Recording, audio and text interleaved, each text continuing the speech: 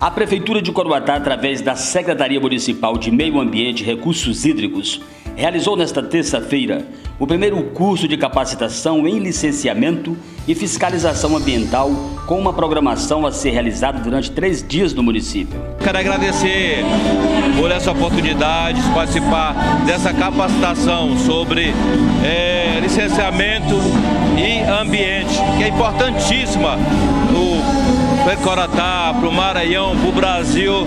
Quero parabenizar essa ilustre secretária, batalhadora, pessoa guerreira. Parabéns, Marilena. Estamos aqui para contribuir, para aprender nesse evento que vai ser realizado hoje aqui em Coroatá. O curso de capacitação consiste em operação educativa conjunta em postos de combustíveis, cerâmicas, revendedoras de gás, bares, poluição sonora, entre outros sob o comando de instituições militares do município e do estado que trabalham para coibir as irregularidades e garantir a defesa da vida ambiental humana. Corpo de Bombeiros Militar daqui de Coroatá é de suma importância debater esse assunto, sobretudo porque o Corpo de Bombeiros Militar também incumbe a missão de combate a incêndio florestal.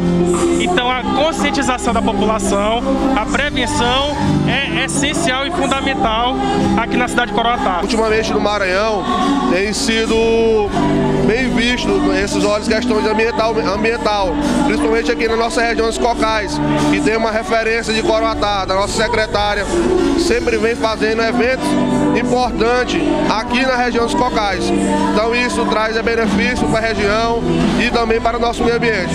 Do evento participaram o vice-prefeito Juscelino da Fazendinha, secretários municipais e secretários de meio ambiente convidados de outros municípios. Estudantes, além da presença de autoridades que representam órgãos do meio ambiente do estado do Maranhão.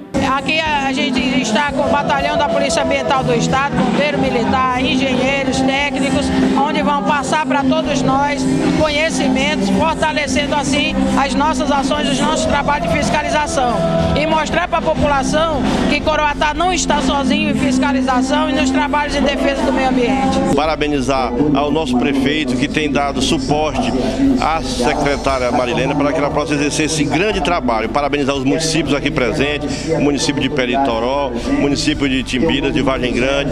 Então, esse, acredito que vai ser um seminário muito produtivo e muito conscientizador para que nossos jovens, nossos adultos aqui de Coroatá tenham essas informações para que nós possamos proteger o nosso meio ambiente.